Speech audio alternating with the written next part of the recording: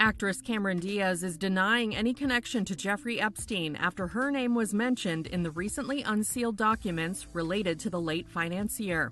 In a statement to Entertainment Tonight, a rep for the actress says Cameron never met Jeffrey Epstein, nor was she ever in the same place as him or had any association with him whatsoever, regardless of the fact he may or may not have mentioned her name or implied that he knew her. Per The Hollywood Reporter, Diaz's name came up in a deposition given by Epstein accuser Johanna Sjoberg, whose testimony was part of a 2015 defamation case brought forward by Epstein accuser Virginia Giuffre against Ghislaine Maxwell. At the time, Sjoberg testified Epstein bragged about his close ties to celebrities, including Diaz and many others. In that deposition, Sjoberg was asked if she'd met celebrities like Diaz. Her answer to each of these questions was no.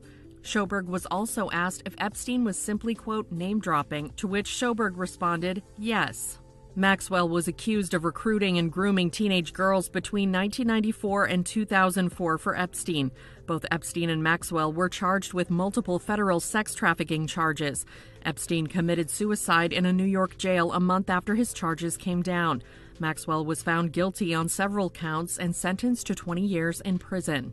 According to the court documents obtained by NBC News January 3rd, Johanna Sjoberg alleged during a 2016 deposition that she saw a then 17 year old Giuffre with Prince Andrew and Epstein's confidant Ghislaine Maxwell in Epstein's New York mansion. Sjoberg, who testified that she was a 20 year old student when Maxwell offered her a job as a personal assistant, also stated in the deposition that the royal sat with both her and Giuffre and took a picture with a puppet in his likeness that had its hand on Giuffre's chest, while his other hand was placed on her chest.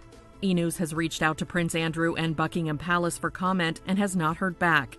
Prince Andrew has previously denied the allegations against him, stating in a 2019 interview with BBC News of Giuffre, I have no recollection of ever meeting this lady, none whatsoever.